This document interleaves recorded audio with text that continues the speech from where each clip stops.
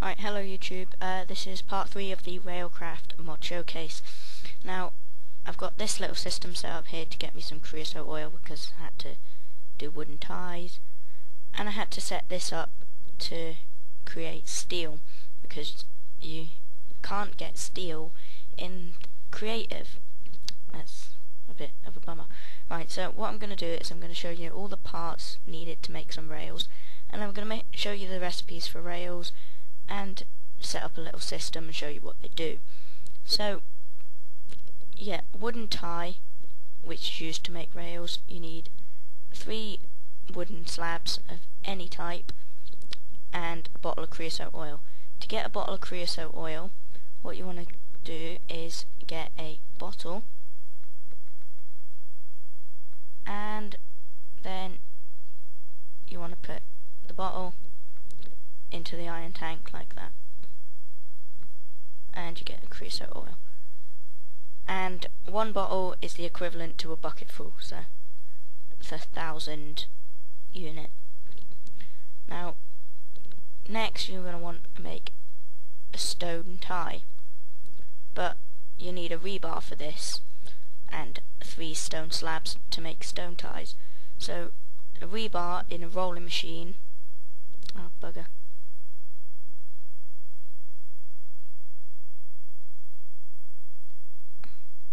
yeah, all of these rolling machines have already done the recipe for some reason. But anyway, rolling machines now have to be powered by engines at the back, and it doesn't matter whether it's Buildcraft engines. Now, I'm sorry, but these um, rolling machines have mucked up and done the thing. Uh, anyway, recycling standard rails, you can put tracks all the way around like this and get two standard rails. Uh, advanced rails is, I think, gold, red, gold, and standard rails. Uh, wooden rail is like this, standard rails with wooden ties, and then you click this and it will drain the power, it has stored power in it, and give you the wooden rails. Then, right, obsidian dust, you put obsidian in a rock crusher, but I don't know how to use the rock crusher, so I just put that on the sign. Reinforced rails is six steel ingots with three obsidian dust, and again, drains the power from there, and makes you the reinforced rails. Now, high speed rail, I think, is gold, redstone, and standard rails, but I'm not sure. Uh, you have to check that on the wiki. Uh, wooden red bale, wooden rail beds is for wooden ties. A stone rail bed again is for stone ties. A gold plate gear with Buildcraft. Like if you have Buildcraft installed, you have to use this recipe. But if you don't have Buildcraft installed, you have to use the next recipe. So with Buildcraft, you use a stone gear with four golden nuggets, and it gets you it. And if you don't have Buildcraft, it's four golden nuggets surrounded by a cobblestone. But if you have Buildcraft, you can't make it like this. You have to use the other recipe. The new recipe for standard rails, as it changes it, you have to use wooden rail bed with standard rails down each side, and that gives you 16. Uh, powered rails, new recipe, is advanced rails down the side, a redstone, and a wooden rail bed. Now, a boarding track for a single cart. There's two versions of a boarding cart. There's one for a single cart and one for a train. You use it as a train if you attach multiple carts together. Now, a boarding track is crafted with six advanced rails, a wooden rail bed, a pressure plate, and redstone. But if you want it for a train, you have a redstone repeater. Now, I'm going to just pause the video here and show you how this works. I'm going to set up a system. Right, so the boarding track. I've got my cart on here, and no, I cannot push the cart off the track. Now, if I get in the track and get a redstone signal, it'll push me off. But no, it will stop the cart on a boarding track that doesn't have redstone power. So if I show you this, turn that off, and fire it off, it'll stop it there. And again, like that. But if it's powered, it'll just let you carry on. So, if, and another thing is, if I get a one-way track, which I'll show you a recipe for later on, if I put it like that, there, now if I put a cart down and power it, it fires it off that way. Now when it, now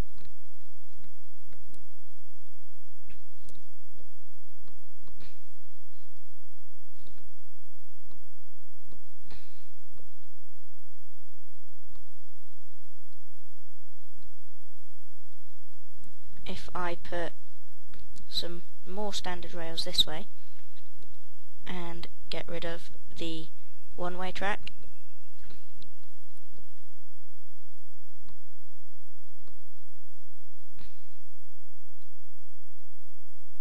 It'll carry on there. Um, but if I put the one-way track here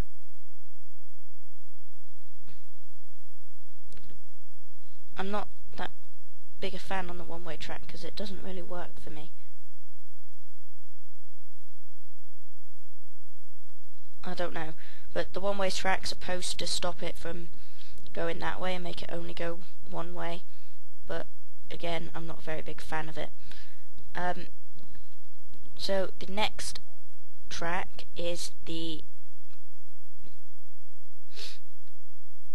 just find it the buffer track now the recipe is this and this is a pretty simple one so I don't really need to set up a new thing but I'm going to because I've got to delete this. Now I'll be back in one moment when I've set up. Right, so the buffer track is pretty self-explanatory. It's a buffer track. Now if I did this and powered it, it'll just go running off the track. But I'm going to place a buffer track here. Note that the buffer will face whichever way you're facing. So if you face that way, it will face that way. And if you face that way, it will face that way. Now you want to put the buffer there, put the cart on the boarding track, and the buffer will hold or stop it there. Now that's pretty much all the buffer track is for, is so that you can make like side ends with the other, like the, you know, the tracks that let you have. Like I'm going to try and make this with a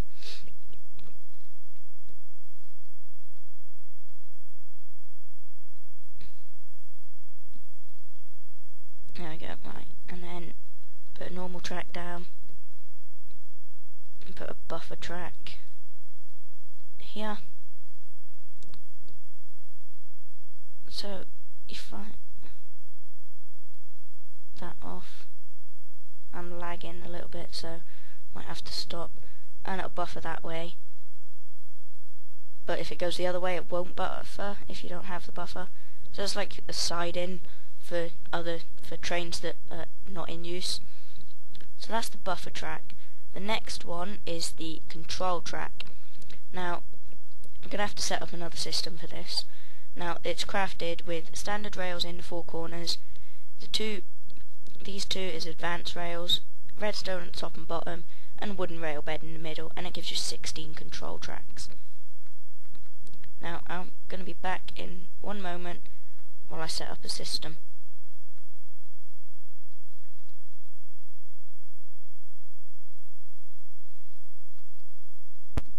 Right, so the control track is a pretty simple track. Um, if non-powered, it faces one way, and I haven't got any carts. We'll boost it really slowly that way, but if I power it and place rails here, the cart will slowly be boosted the other way. So as this has actually been in since the alpha version of Railcraft, but it's kind of been changed a lot. It's pretty cool that like you can just change it because if you're going down the track the wrong way, you you just quickly get to the lever, flip it, and it'll change the direction of which way you go and send you back. Although you will need a couple of powered rails, like here, just to speed it up a little bit, especially if you're going uphill. Now, next track over here is the oh the next one is the crowbar. Now the crowbar is a tool which is three iron ingots surrounded by rose red dye and the crowbar is what you use to connect carts together. So if I put a cart here and here there we go that will make it into a train. So they're both attached. Also destroys. And the crowbar will also change the direction of a control track. But the reason I was showing you the crowbar is because that's how you connect tracks trains together. The next one is the coupler track which you get eight of and it's the same recipe as the decoupler track except from the crowbar is on the bottom and you get eight. Now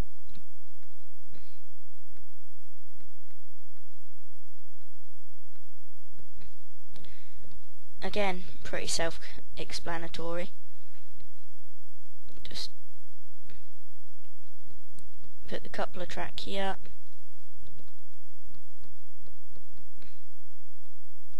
And the decoupler track here. Now you put redstone signal on them.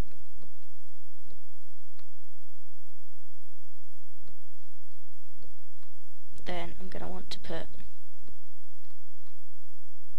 some extra tracks on the end. Now, the coupler track I don't really find very useful because you have to have two trains going over it at pretty much the same time. But if you couple some with crowbar.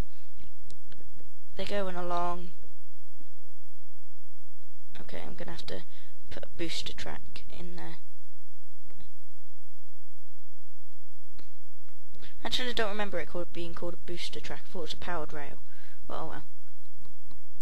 Right, and if I put two tra trains here, link them with a crowbar, push them into there, they'll be uncoupled by the decoupler track. So it's pretty self-explanatory. And the next one is the the new detector rail recipe. So there's no point in me showing you what this does, but all it is is standard rails, wooden rail bed, a pressure plate, and a redstone at the bottom, and it gives you eight detect tracks and uh, they're now called tracks and not rails, if you haven't already noticed. The next one is the disembarking track. It is six advanced rails down each side, a redstone, a wooden rail bed, and a pressure plate. Now, again, I'm going to set up a system to show you what this does, and I'll be back. Right, so I've set up the system, and the disembarking track is a pretty cool track. You get in your car, and that's the disembarking track over there. Now, I'm going to flip the lever, and I'll get sent over, and I'll get ejected from the cart when I get to my destination. So, that's a pretty cool track, and of course it has to be powered by a redstone signal, otherwise it won't work. Now, the next track is the elevator track. Now this is another cool item. Now it's created with six advanced rails, a standard rail in the middle and two redstone. Now you get eight of these and again I'm going to set up a system to show you what it does. So again, elevator track self-explanatory, elevates you up. Now you can't put a track here because the elevator track still takes up a block. Now you're going to want to power the top elevator to power them all to go up and when you want to come down you don't want it powered. Now just a little um, demonstration here. Power it on, come over, go up, come over, and you go down. Now, just make sure you put these going down elevators on, because as I found out when I was testing this, is if you don't, you'll just go flying off pretty much. So you're going to want to put elevator tracks going down, but remember not to power them. Now, the next track is, let me just delete that. The next track is the gated track. Now, this is six standard rails, two fence gates, and a wooden rail bed. And you get four gated tracks. Now, I think this is going to have to be the last one. I'm going to have to put the next one into another episode because we're already running long. Now, again, I'm going to have to set up a system for this, and I'll be back.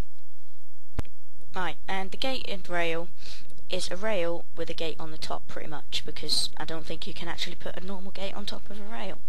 Now, you can either open this manually when you get up to it, or with a redstone signal. So I've set it up with a redstone signal. So what you want to do is power up and the gate will be opened for you if you got it by a redstone signal. Now, a lot of people don't want that. Now, the next one I'm just going to do quickly because it's another version of this one. It's the one-way gated rail. Now, it's an, two advanced rails, four standard rails in the corner, again with wooden rail bed and two fence gates, and gives you four one-way gated rails. Now, again, I'm just going to set this up like this, and it gives you the fence. Now, this time I'm going to test it to see if I can do it with just... Oh. See, that's why I did it with redstone signal, because I found it a lot easier. Now,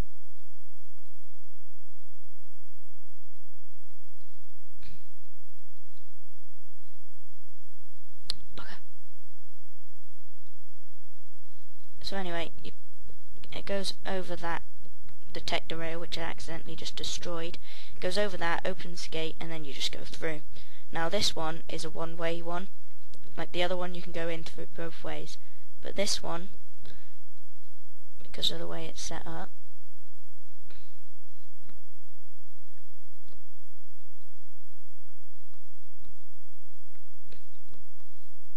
you're going to want to it's not going to go in that way, it'll just bounce back. But if you put it through this way, it will go through. And it will also get powered a little bit by the gated rail. Now, that's it for this episode. Again, we've got all of these left to do in the next episode. And we've also got to go through loaders and unloaders for liquids and items and all sorts of different things. And there's a few other items that I haven't shown yet. So thanks for watching.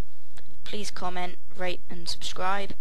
And don't forget to check out our Facebook and Twitter page. Cheers. Now, bye bye.